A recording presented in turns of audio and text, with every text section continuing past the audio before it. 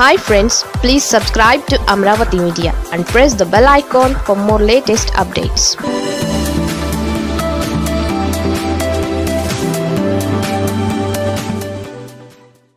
junior రూపంలో టీడీపీలో ముసలం తప్పదా? తెలుగు తెరకు నట సార్వభౌముడు నందమూరి తారక రామారావు. ఆయన రాజకీయ వారసత్వాన్ని చంద్రబాబు కొనసాగిస్తున్నారు. సినీ వారసత్వాన్ని బాలయ్యతో పాటు జూనియర్ ఎన్టీఆర్ కొనసాగిస్తున్నారు. వర్తమానంలో చూస్తే పాన్ ఇండియా స్టార్గా జూనియర్ ఉన్నారు. ఎన్టీఆర్ మనబడిగా జూనియర్కి ప్రత్యేక గుర్తింపు ఉంది. అలాంటిది జూనియర్ని శత జయంతి వేడుకల వేళ పక్కన పెట్టడం మీద ఆయన ఫ్యాన్స్ రగిలిపోతోంది. విజయవాడలో ఈ నెల ఇరవై ఎనిమిదిన జరిగిన ఈ వేడుకల సందర్భంగా కొన్ని ఆసక్తికరమైన సంఘటనలు చోటు చేసుకున్నాయి. వేదిక మీద ప్రముఖులకు కనిపించేలా జూనియర్ ఎన్టీఆర్ ప్లకార్డులతో ఆయన ఫ్యాన్స్ హల్చల్ చేశారు. ఇది గతంలో చంద్రబాబు కృష్ణా జిల్లా టూర్ చేసినప్పుడు కనిపించిన సన్నివేశం లాంటిదే. ఆనాడు కూడా చంద్రబాబు విసిగిపోయి పోలీసులను వారి మీద పురమాయించారని వార్తలొచ్చాయి. ఇప్పుడు కూడా జూనియర్ ప్లకార్డులు సభ మొత్తం ఫ్యాన్స్ ప్రదర్శిస్తూ హడావిడి చేశారు. అయినా సరే సభలో ఎవరూ ఆయన ప్రస్తావన తీసుకురాలేదు.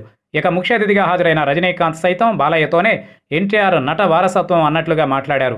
దీని మీద కృష్ణా జిల్లా జూనియర్ ఎన్టీఆర్ ఫ్యాన్స్ అయితే గట్టిగానే మండిపడినట్లుగా వార్తలు వచ్చాయి. అన్నగారి శత జయంతి వేడుకల వేళ సొంత మనవడిని పిలవకపోవడం బాధాకరమని వారు పేర్కొన్నట్లుగా తెలిసింది. దాంతో ఎన్టీఆర్ శత జయంతి వేడుకలను జూనియర్ ఫ్యాన్స్ ఆధ్వర్యంలోనే నిర్వహిస్తామని అలా చేయాలని అసోసియేషన్ నాయకులు పిలిపించినట్లుగా కూడా ప్రచారం సాగింది.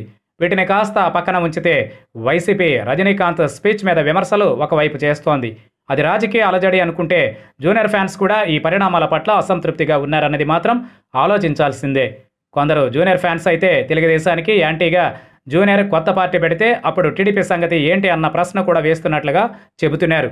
బాలయ్య రాజకీయం చూస్తే ఆయన నటుడిగా నాలుగు దశాబ్దాల కాలంగా ఉన్నారు. ఇప్పుడు యంగర్ జనరేషన్లో జూనియర్ ఉన్నారు. రేపటి రోజున అన్నగారి వారసత్వాన్ని కొనసాగించేది కూడా జూనియర్ అని అంటున్నారు. అలాంటప్పుడు ఆయన్ని దగ్గర చేసుకోకుండా ఇలా చేయడం వల్ల లాభం కంటే నష్టమే అంటున్నారు.